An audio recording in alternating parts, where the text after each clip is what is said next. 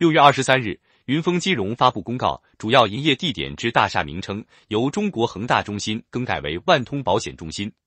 这或意味着许家印失去香港总部大楼。有意思的是，许老板当时买楼的时候，他就是姓万通，没想到时隔七年又叫回去了。而这个接盘人背后藏着马云的身影。马云给许家印接盘。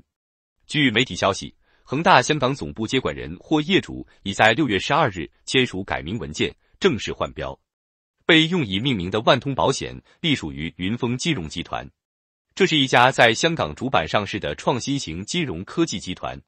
云峰金融集团旗下子公司持有香港证监会授予的金融服务牌照，并通过控股万通亚洲持有香港保监局长期保险业务牌照及香港强基金核准受托人资格。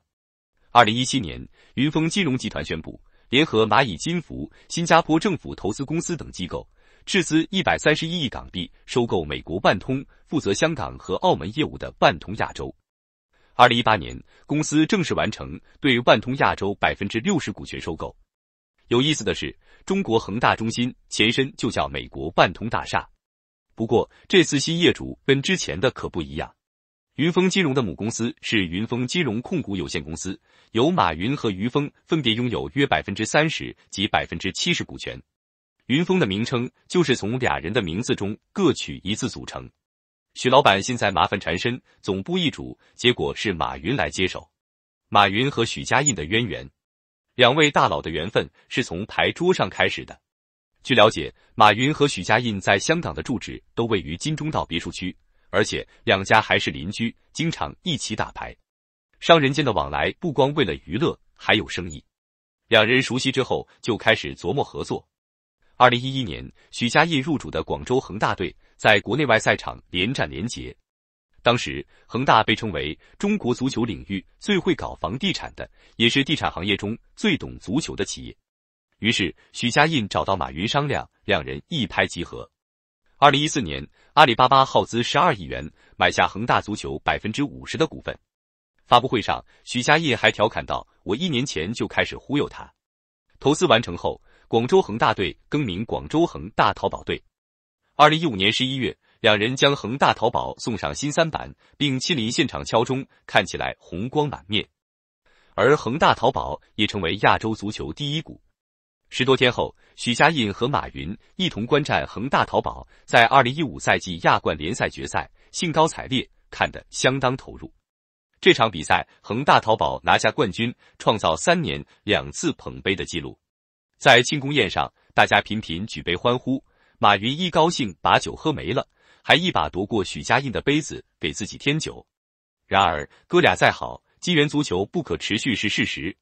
从二零一四年起七年间，恒大淘宝就亏掉超八十亿。二零一七年上半年，恒大淘宝亏损六点六亿，成为同期新三板的亏损王。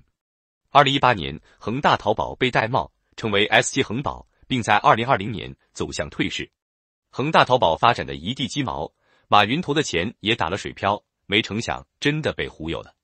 现在许家印已经走到山穷水尽，没想到昔日牌友马云还愿意伸出援助之手接盘他的资产。香港总部曾降价也没卖出。前恒大香港总部坐落在香港湾仔告示大道三十八号，临近香港金钟及湾仔地铁站、香港警察总部，毗邻维多利亚港湾，地理位置优越。该楼占地两千一百三十八点八平方米，总计二十六层。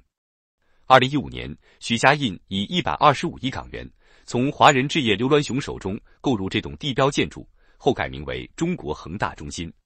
这笔交易当时还创下了香港最高买卖记录的商厦，恒大则成为内地唯一在香港有整栋独立写字楼的民营企业。刘銮雄则暴赚超一百二十亿港元，因为这是他仅花了四点六亿元买的楼。按照当时的公告，恒大将以分期付款的方式支付收购的价款，首付款只需百分之十，其余价款将分六年支付，每年仅需百分之十。也就是说，恒大在二零二一年才支付完该笔交易的价款。然而，随着恒大陷入债务危机，这栋楼被快速摆上货架。一开始，恒大出售的估价达到二十亿元，约合一百五十六亿港元。彼时，市场传闻恒大计划以一百零五亿港元卖给越秀地产，但被其拒绝了。二零二二年七月，市场传闻李嘉诚的长实集团欲以九十亿港元买楼，这叫恒大的初期报价降低了四成，比买入价也低了近三成，最终也没成交。与此同时，由于恒大曾以大楼做抵押，获得信银国际七十六亿融资，后续被信银国际接管。有媒体统计，自二零一六年至二零二二年，该大楼已被抵押融资五次，可谓是许老板的提款机。随后，信银国际继续在公开市场放售恒大香港总部，估值约合九十四亿港元，原定在二零二二年十月三十一日结标，但始终未有结果。如今再传来消息，大楼已经更名。这个过程中，许家印或许能回血不少，但较七年买入价也亏惨了。不过，恒大的窟窿那么大，大概能补一点是一点，活下去是他目前要紧的事了。